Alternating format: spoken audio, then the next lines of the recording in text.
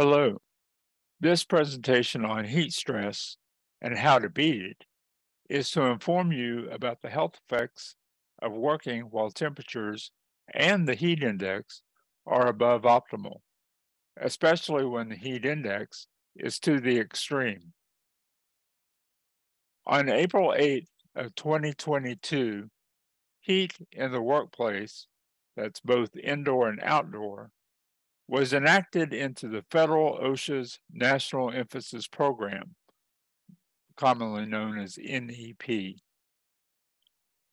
My name is Jeffrey Kahn with the Kentucky Occupational Safety and Health Division of Education and Training. I will discuss what could happen to a person's body and preventative steps to help protect employees from injuries caused by exposures to various degrees of hot temperatures. Heat stress can affect occupations such as outdoor construction, highway construction and maintenance, agriculture, etc. On outdoor work sites, the sun, humidity, and machinery are the usual heat sources. Heat stress also affects some indoor work sites, such as bakeries, kitchens, metal smelting, coal and energy production, chemical production plants, warehouses, manufacturers, welders, firefighters, and other emergency responders, etc., all year long regardless of outdoor weather conditions. These plants use ovens or furnaces as a heat source, or it may just be an enclosed building without air conditioning as a heat source. Today, I will be talking to you all about heat in the workplace. Welcome to the Heat Stress How to Beat It webinar. I will discuss what is heat stress, the symptoms of heat stress, the causes of heat stress, ways to prevent heat stress. I will also discuss what is the OSHA National Emphasis Program, or NEP, which industries are listed on this heat NEP. How will Kentucky OSH address these companies and occupations? Which OSHA regulations address heat stress? And I will also discuss resources that are available to you to assist you at your work site. What is heat stress? Heat stress occurs when the body is unable to remove enough heat to maintain the internal core body temperature. This can lead to heat related injuries and illnesses in the workplace. How does the human body regulate internal core temperature? We start the process by eating food and water to provide fuel and water to maintain basic organ and muscle operation. Then we perform work and muscle movements to burn calories from the food, which generates heat internally. This is measured in watts. Water is needed for internal organ function and lubrication for movement of joints, muscles, and blood. Blood transfers oxygen, nutrients, fuel, and heat throughout the body. Heat is a form of energy, which is used within the body as needed. Excess heat, which is not needed by the body, must be removed from the body. To continue the discussion on how does the human body regulate internal core temperature.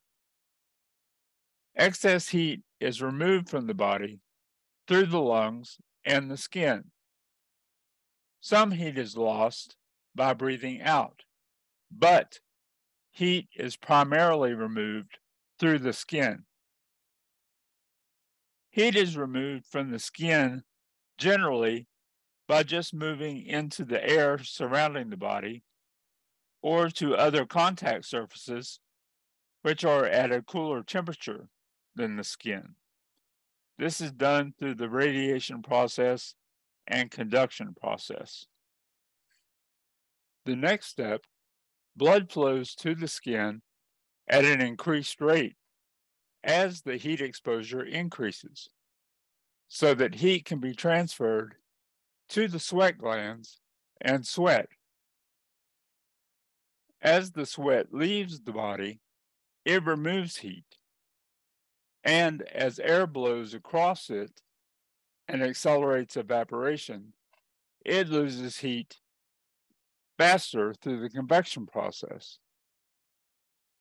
As the body removes heat through sweat evaporation, the water and salt that is lost during this process must be replaced in order to continue this process.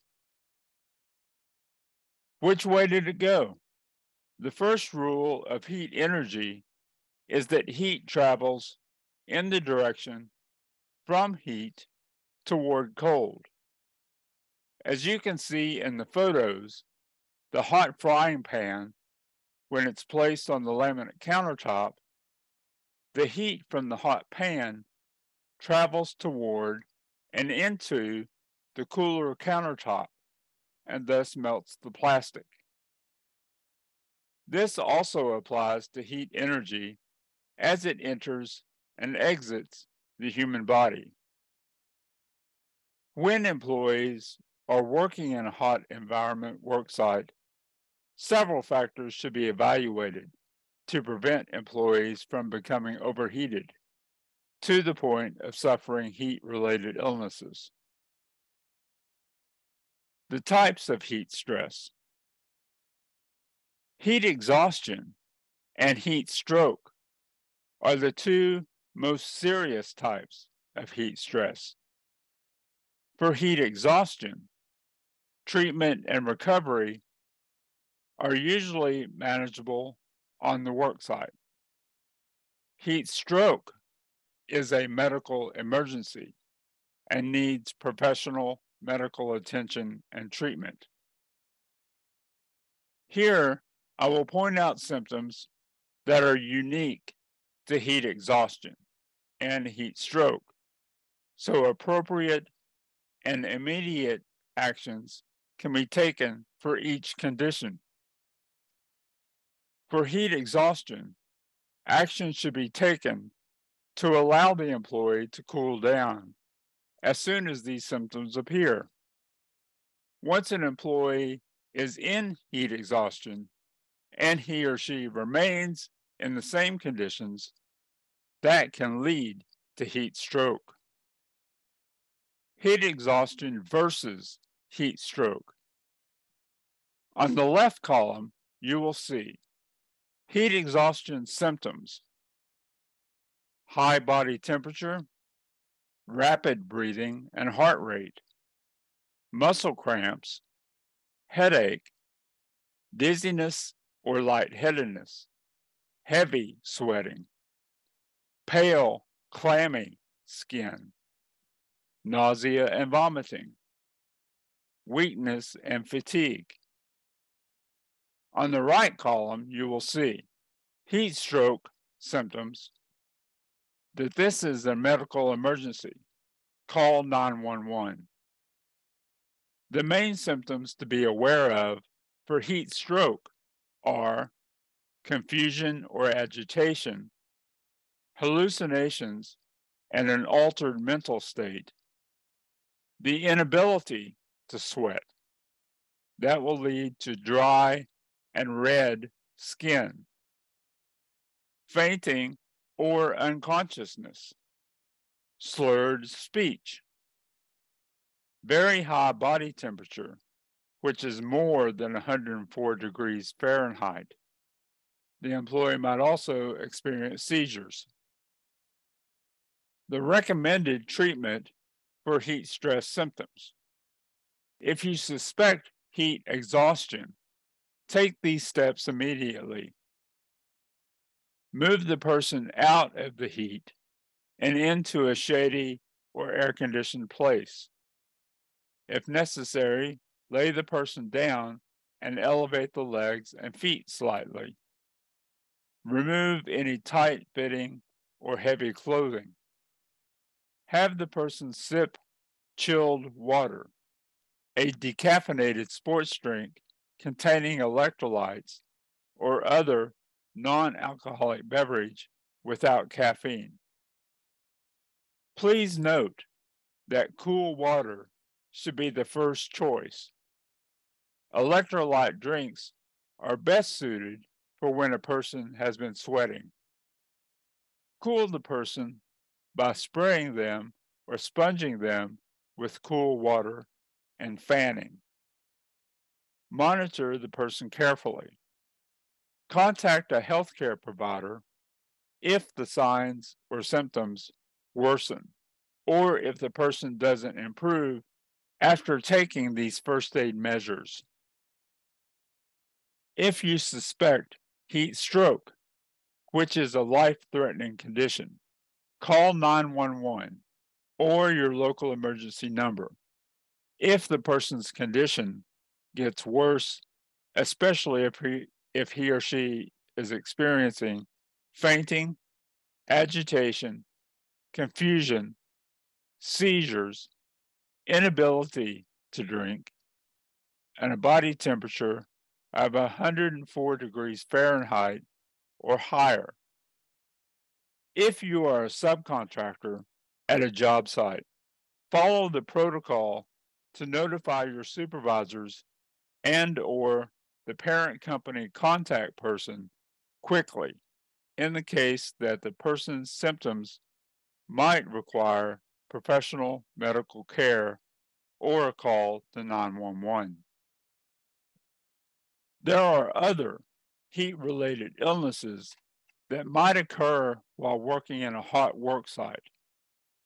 These conditions set the stage for causing more serious conditions of heat exhaustion and heat stroke.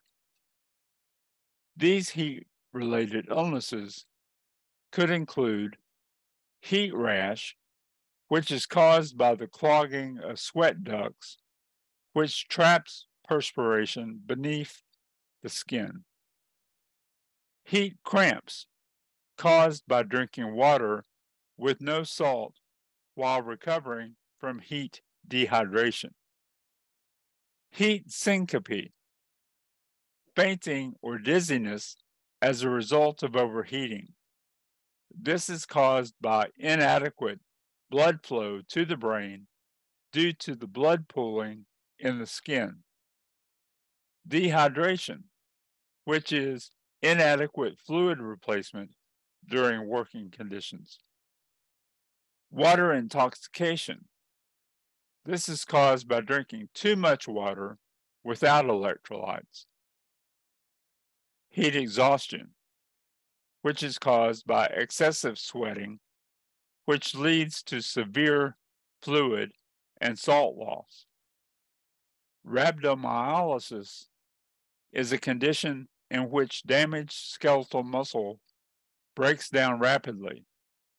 This is caused by muscle damage from working in hot conditions with increased concentration of inflammatory products.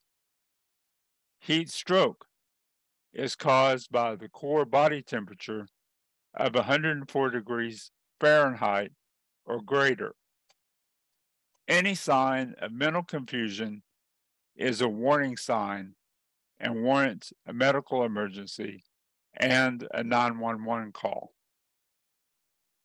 How and why heat related illnesses develop. The body performs work which produces heat internally and metabolic products including some inflammatory mediators. This heat energy is used to maintain bodily functions, but excessive heat must be released to the surrounding environment to keep the body temperature around 98.6 degrees Fahrenheit. Heat is removed from the body through the lungs and the skin. Some heat is lost by breathing out, but heat is primarily removed through the skin. Heat is removed from the skin generally by just moving the heat to the air surrounding the body or by contacting surfaces which are at a cooler temperature than the skin. This is through the radiation process and the conduction process. Blood flows to the skin at an increased rate as the heat exposure increases. This is so that heat can be transferred to the sweat glands and sweat. As the sweat leaves the skin, it removes the heat, and as air blows across it, it accelerates evaporation. It loses heat faster through this convection process. The body can maintain heat equilibrium across a large range of conditions with adequate fluid replacement. However, when heat from workload generation, the natural environment, and other heat sources are escalated and are not balanced with adequate control methods, the body can become overwhelmed and lose control, thus increasing the core body temperature. As the body loses fluid and dries out, the concentration of inflammatory mediators and temperatures increase eventually leading to heat stroke. Inflammatory mediators affect the hypothalamus gland, which is deep inside the brain. This gland is responsible for regulating body temperature, and when it gets overheated, it loses control and loses the ability to do its job. This gland is basically your body's autopilot system for this and for other bodily functions. Contributing factors to heat exposure. This is heat enters the body from external sources. These factors must be considered whether the worksite is indoors or outdoors. The sources of heat. Outdoor sources are typically from the sun weather conditions, machinery, or tools used on the work, work site, such as asphalt heater tanks, etc. Indoor sources of heat could be boilers, furnaces, metal smelting furnaces, glass melting furnaces, or simply be enclosed buildings without air conditioning. The surrounding conditions that either help remove heat or may enclose and or intensify the heat. These could include air movement from the wind or from fans, which will help remove heat from the body. Surfaces such as concrete, blacktop, roofing materials, water, etc., can absorb the heat from the sun, furnaces, or other heat sources. These surfaces can reflect the heat or otherwise transfer the heat back into the worker's body. Humidity, when combined with heat, intensifies how hot it feels to humans and decreases the body's ability to remove excessive heat. This is determined by the heat index factor. However, indoor heat index must be measured rather than by using weather related tools for outdoor use only. We will discuss those measurement devices later. Other factors that contribute to heat exposure are the duration of time spent in the heat and the workload exertion level or intensity and duration which generates heat within the worker's body. This is called the metabolic rate. We will discuss that further later. Contributing factors to heat retention. That is how heat remains inside the body. This can include the clothing and or PPE, which is personal protective equipment, worn by the employees. It can include direct contact with hot materials, tools, and or surfaces. It may include duration of time exposed, were breaks provided with shade and or cooled air, or water and drinks with salt or electrolytes provided to replace the water and salt that is lost through sweating.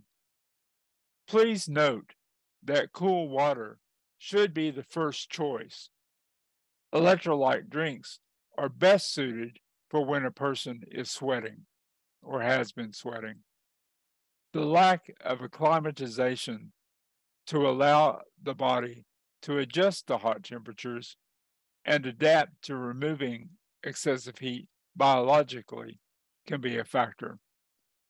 There can also be individual risk modifiers which can contribute to heat retention. These individual risk modifiers could include several things, such as disease, which could include obesity, diabetes, hypertension or high blood pressure, heart disease, or some medical conditions such as lupus, multiple sclerosis, etc., can affect or reduce how heat is processed or removed from the body. Another risk modifier could be genetic conditions. An example of a genetic condition would be a rare condition called hereditary hypohidrotic ectodermal dysplasia. This causes underdeveloped skin and significantly fewer sweat glands as the body is developing. This greatly reduces the ability to sweat so the person cannot remove excessive heat from their bodies. Another individual risk modifier could be drugs. These can include serotonin syndrome and may involve interactions with other drugs. This could also include drugs that block sweating. It could include amphetamines. It could include alcohol. Some medications and some street drugs can affect or reduce how heat is processed and removed from the body. Another individual risk modifier could be acclimatization. This is the process of building up your metabolism or your tolerance levels to being in and working in a hot environment. This is needed when a new employee starts a new hot job or after a long weekend or vacation away from the hot environment. It could also be needed when weather conditions change suddenly from cooler temperatures to hot humid conditions. Another individual risk modifier could be workability and training. Some employees may have physical limitations from injuries or disabilities that reduce their workability and increase the energy needed and the amount of heat produced internally to perform the same task as an otherwise healthy worker. Training employees on proper rest breaks, drinking water, and salt replacement, recognizing heat related illness symptoms, will help reduce the incidence of these illnesses. Methods of measuring the heat index and risk factors. The heat index is typically measured by an in- instrument called a WBGT heat index meter. This stands for a wet bulb, globe, and temperature meter. When you have a work environment that is indoors, it is best to use this type of instrument for measuring the heat index. This top box shows two different models of WBGT meters. I put two pictures just to show you that there are different manufacturers and they don't all look alike. The red meter on the left shows that there are three sensors inside, which is how all of the WBGT meters work. One of these sensors is a dry bulb thermometer, which is just a typical thermometer like everyone is already familiar with. The second sensor is a wet bulb thermometer.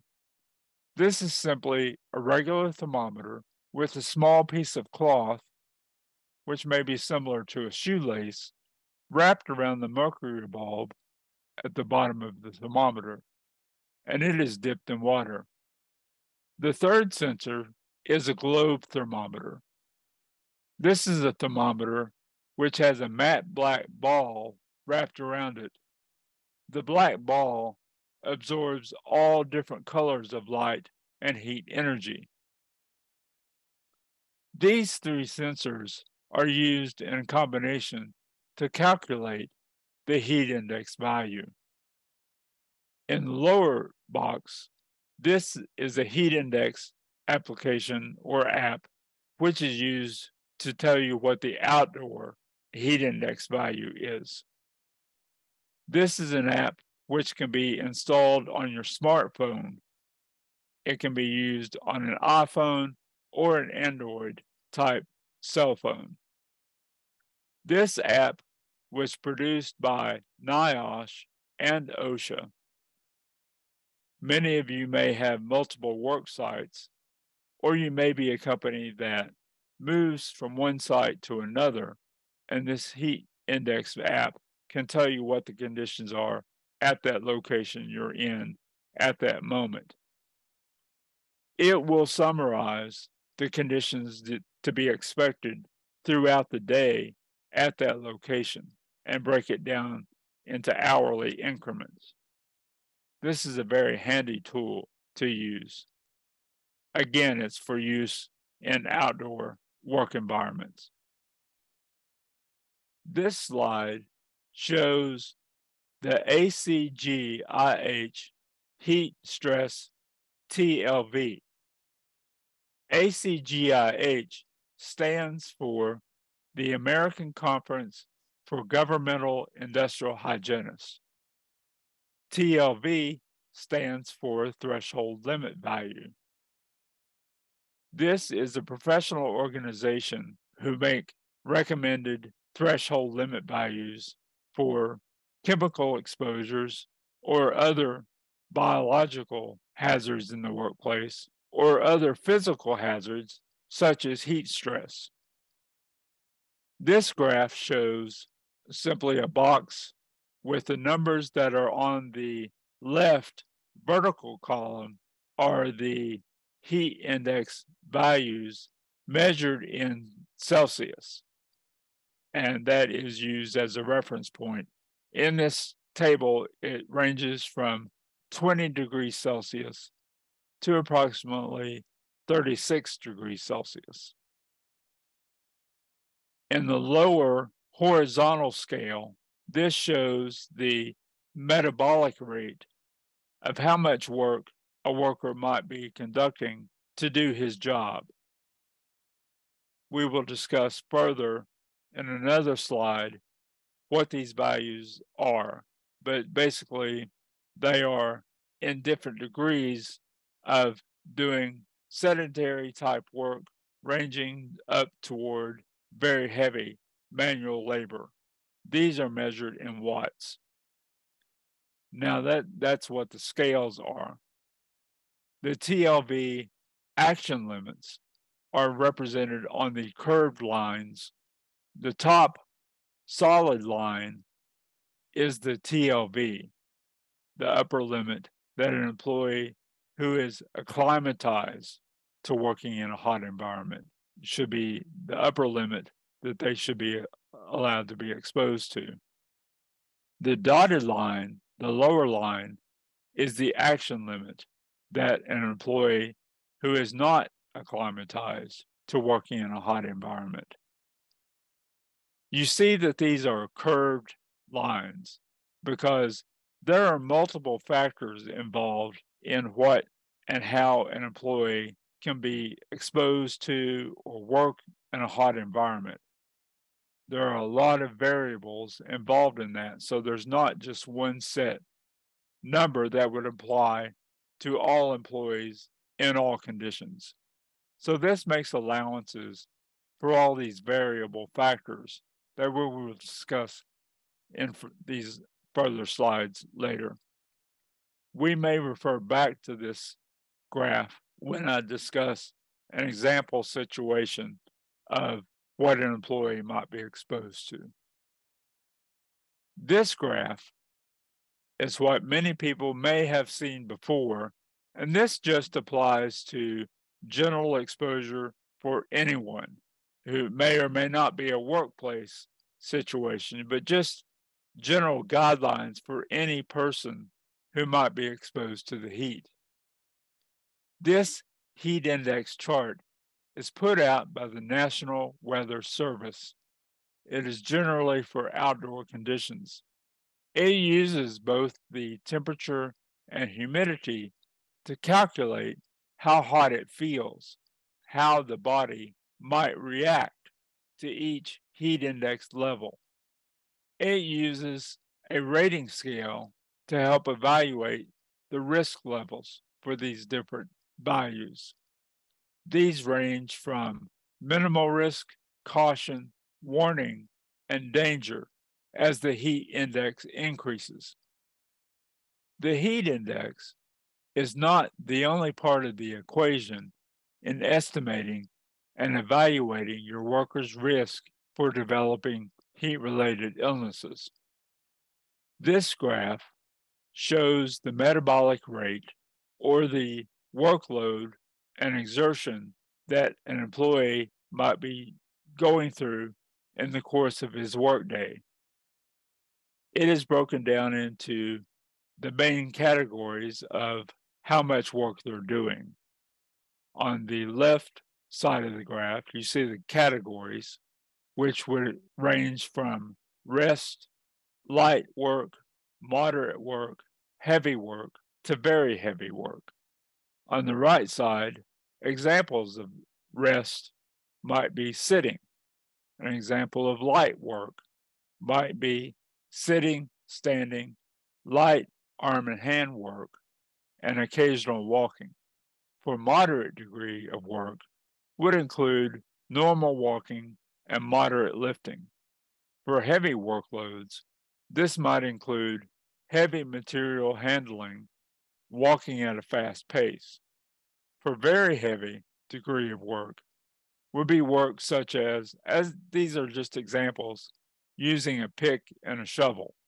For these different degrees of work, it it shows examples that will be used in the calculations that we will discuss further later as measured in watts. For rest, the number of watts used might be 115.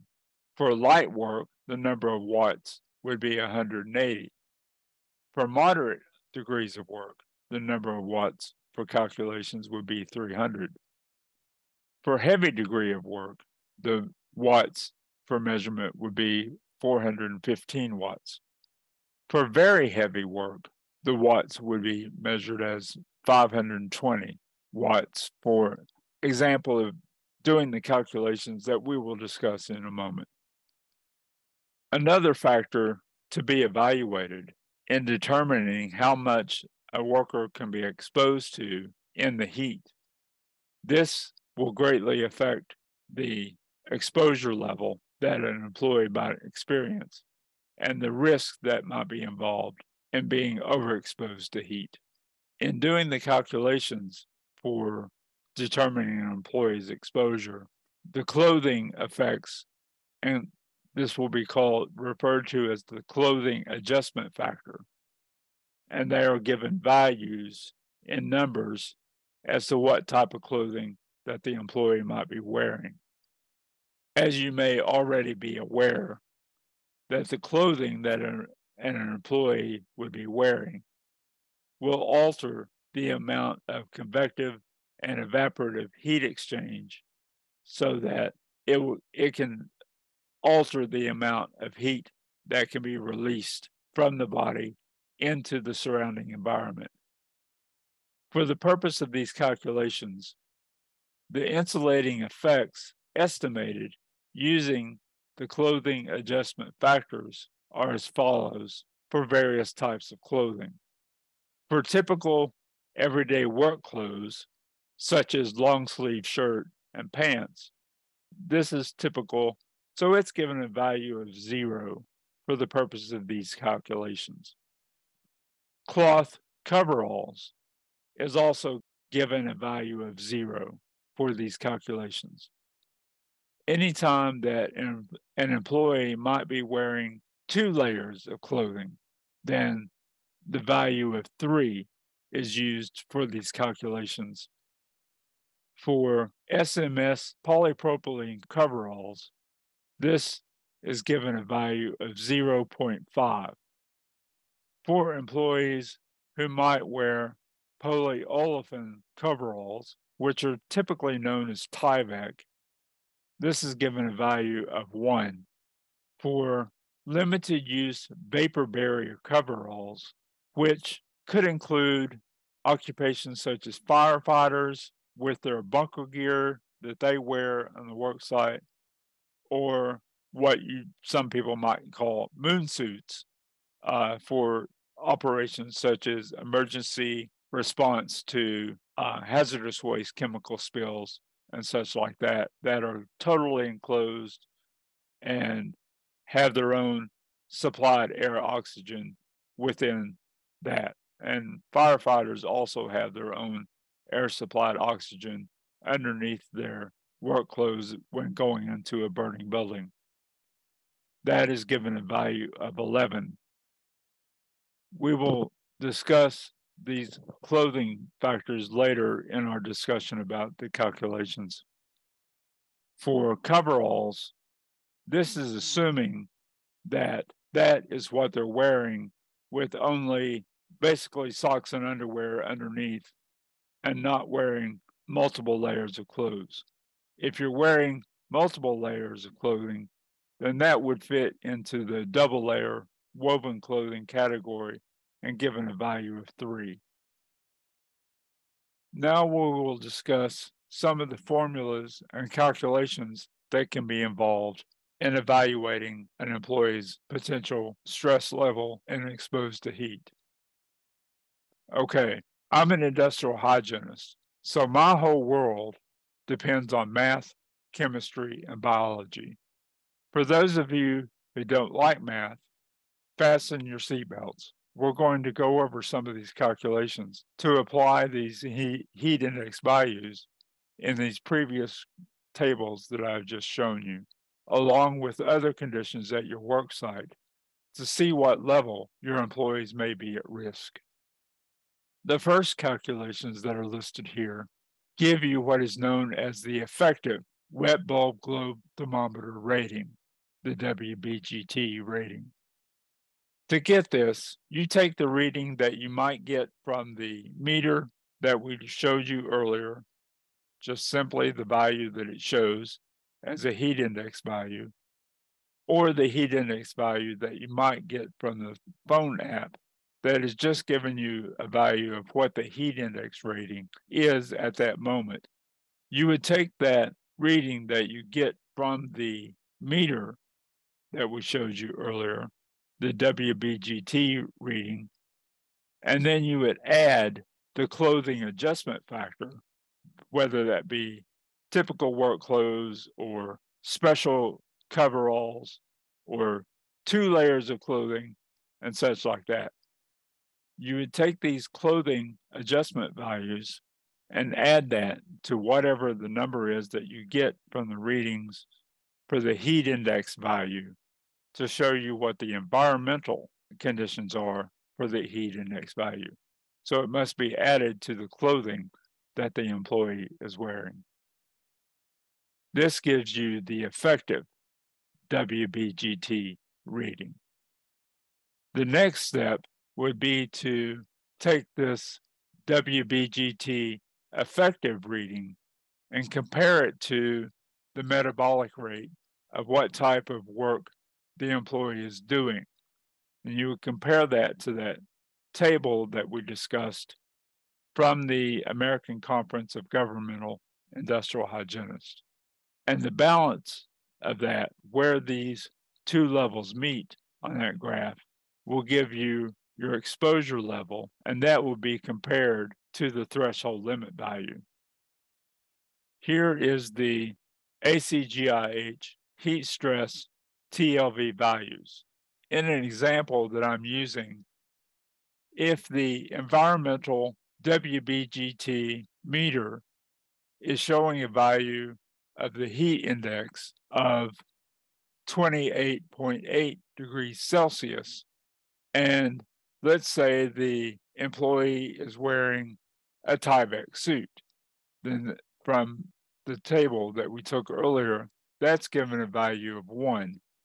So you take the one and add it to the value of 28.8 Celsius. Then that equals an effective value of 29.8 WBGT heat index value. Then you take the 29.9, if you look at the 30 on the left vertical scale, but let's say that the employee is doing a moderate amount of work on their job, which from the table that we discussed earlier, a moderate amount of work measured in the, as the metabolic rate measured in watts in that example is 300. So if you take the 29.8 heat index value and see where the, the value of the metabolic rate of 300 cross is up there just above the acronym TLV. So you see that that employee would be above the threshold limit value according to this scale. Okay, so that is just to show you that it can be very complicated to measure and evaluate all these different variable factors. So, federal OSHA has made all of that easier by creating what they call a heat stress calculator. This is not an app to be easily downloaded onto your phone, but you can enter this web address site onto your phone and pull that site up and mark it as a bookmark or a favorite so that you can easily pull it back up and take it with you to your job site. This calculator simplifies things much, makes it much easier than going through all these involved calculations that I just finished. It has simple input boxes that I will list here below you will first enter the WGBT heat index value, which you would get either from the meter or from the app that you've installed on your phone to give you the outdoor environment heat index value. You can enter that value in Fahrenheit, which is what most people in this country are familiar with. That way you don't have to worry about converting from Fahrenheit to the metric system. The next thing you would enter would be the workload. And this is put in simple scales of is it a work level of rest, light work, moderate work, heavy work, or very heavy. So it's it's broken down into simple categories. You don't have to worry about the numbers. The next thing you would work enter would be is the employee acclimatized for working in the heat. That's hmm. simply yes, they are acclimatized or no, they are not. The next entry is the clothing adjustment factor. This is put into simple values. The next entry would be putting their body weight status. And this is simply put into the categories of are they of normal weight or are they overweight? And then hit the button submit. It will calculate internally to tell the employer if the worker under those conditions is potentially over the TLV value. Here we have listed several actions that can be taken as prevention methods. We have just broken it down into bullet points. I will elaborate on these some, but not necessarily in the same order that they're listed here. One action is the water and salt replacements. As I explained earlier, water is essential for internal body functions and movement. Water and salt are removed from the body through sweating, and this removes heat from the body. The water and salt that is lost from the sweating process must be replaced consistently to keep the process of heat removal working properly. Don't wait to feel thirsty before drinking water because prevention of heat related illness is much easier than recovery. Taking rest breaks, whether your work environment is indoor or outdoor, take rest breaks away from the heat source. If you're working outdoors, rest in a shaded area if possible, and in an air conditioned area if possible. Use fans and or air movement to help cool the body. If you're working in an outdoor environment, keep in mind that resting in a car or a truck without air conditioning may not be effective because it could be even hotter inside the vehicle. Even if this vehicle is in shade, it could still be very hot inside that car. If you're working indoors, take rest breaks away from the heat source or the furnace or the kitchen or whatever might be the heat source. If possible, take your rest breaks in an air conditioned area. This allows your body to cool down and recover somewhat before you go back to work in the hot environment. Acclimatization. This is a process of building up your metabolism and tolerance levels for being in and working in a hot environment. This is needed when a new employee starts a new hot job or after a long weekend or vacation away from the hot environment, or if weather conditions might suddenly change from a cold environment to a hot environment. Depending on the employee, acclimatization process might take between five to seven days to adjust to the heat.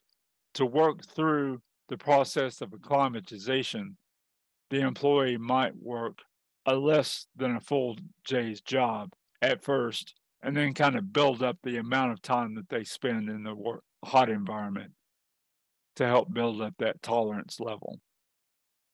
Another factor can be training your employees and your supervisors. Training employees on taking proper rest breaks, drinking water, and salt replacements as needed, and recognizing heat related illness symptoms in themselves and others to help reduce these illnesses. Again, please note that cool water should be the first choice in water replacement and the electrolyte drinks should be used when a person is sweating or has been sweating. It is also a good idea to use the buddy system to have employees keep an eye on each other to recognize the symptoms and offer assistance to cool them down when the person is becoming overheated. This works best in conjunction with the training to know how to recognize the symptoms of being overheated. You can use engineering controls to remove heat when feasible. These are usually more used in indoor work sites.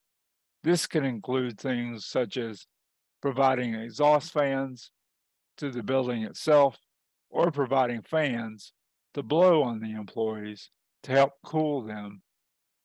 You may also use administrative controls. These are things like adjusting work shift times and rotating work shifts. When possible, conduct work during the cooler part of the day or rotate work shift times and or workstation locations to reduce the amount of time exposed to the heat source. You may want to have a plan in place for heat related emergencies or for just planning for how to deal with employees' exposure to heat in the workplace. It is a good idea for the employer and or supervisors to observe the temperature, the heat index, and the workload of the employees, as these may need to be adjusted each day and or during a day because heat index values can change from day to day or during the course of a day, and to recognize symptoms of heat stress illnesses with the employees. Okay, back to the big question of what is the OSHA National Emphasis Program, which is abbreviated as NEP. All NEPs ensure that employees in high hazard industries are protected from whatever the specified hazard which has been found to have caused a high rate of injuries and deaths or has been evaluated to with new information from research to show that there are an increased risk from exposure to that chemical or physical hazard or biological hazard, whatever the case may be. This is for any national emphasis program. The federal HEAT NEP will focus on vulnerable workers who could be subjected to heat related hazards both in indoor and outdoor work environments. The federal OSHA HEAT NEP is designed to reduce or eliminate worker exposure to heat hazards. It will also target industries and work sites where employees are not provided with cool water, rest, cool shaded areas, training, and acclimatization. This is designed to be a proactive versus a reactive approach. With the national OSHA HEAT NEP, there are options of using the use of enforcement, outreach to employers, and compliance assistance. Which industries will be targeted in the national HEAT NEP? Here's a table of the types of industries that the federal OSHA in this program would target. This includes the NAICS codes, which is the NAICS code. This will include industries such as bakeries and tortilla manufacturing, sawmills and wood preservation, petroleum and coal product manufacturing, basic chemical man- manufacturing, glass and glass product manufacturing, iron and steel mills, and iron alloy manufacturing, non ferrous metals, such as aluminum production and processing, foundries. It will also target construction industries, such as residential building construction, non residential building construction, utility system construction, land subdivision, highway, street, and bridge construction, other heavy and civil engineering construction. It will also include industries that may be of known exposure to high heat, such as vegetable and melon farming, postal service, employment services, investigation and security, restaurant and other eating establishments, such as in their kitchens. Kentucky is a state plan state where OSHA is operated under state government. In Kentucky, it's called Kentucky OSH. How will Kentucky OSH address this? The Division of OSH Education and Training, which is also known as KY SAFE, will be conducting an enhanced heat illness and outreach campaign. Kentucky Safe is also addressing heat related issues on all consultation and training activities. What are the regulations and guidelines that address heat in the workplace? There are no OSHA standards which specifically address the potential hazards of heat related illnesses. However, Kentucky OSH has adopted its own version of the federal OSHA General Duty Clause. In Kentucky, this is the KRS, which is Kentucky Regulatory Statutes, Chapter 338.031.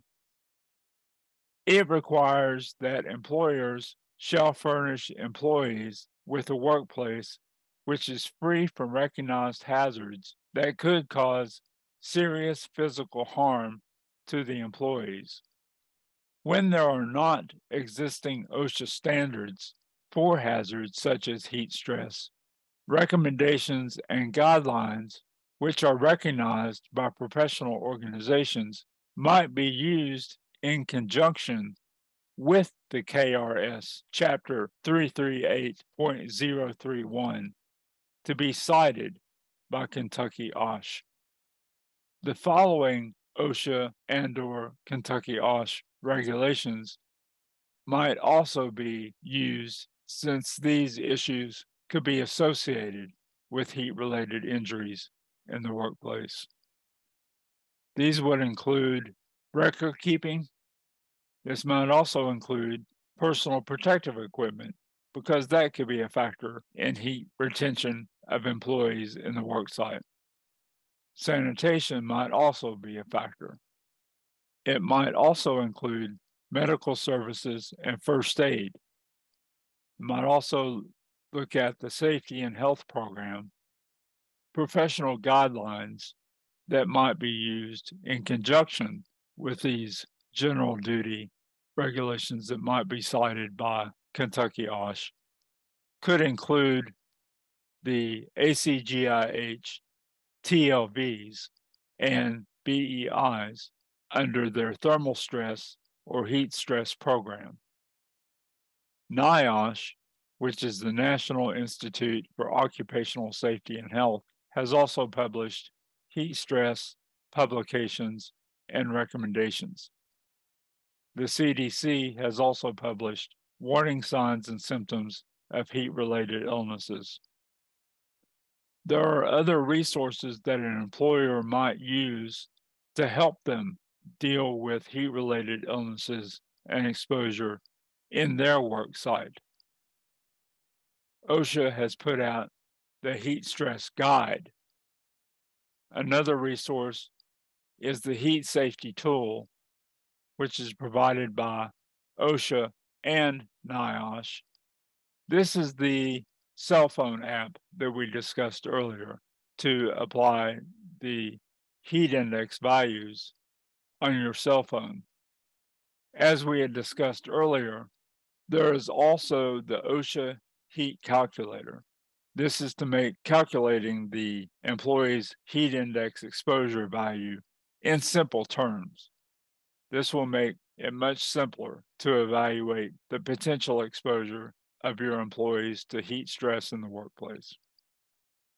The ACGIH, TLVs, and BEIs are the American Conference of Governmental industrial hygienists, threshold limit values, and biological exposure indices. These guidelines are something that an employer would, would need to purchase to help support the research that goes into producing these documents. NIOSH has also published a heat stress guide. Another resource which might be of use, particularly in the construction industry, is put out by the Center for Construction Research and Training. This concludes this webinar. Thank you for attending the Heat Stress How to Beat It webinar.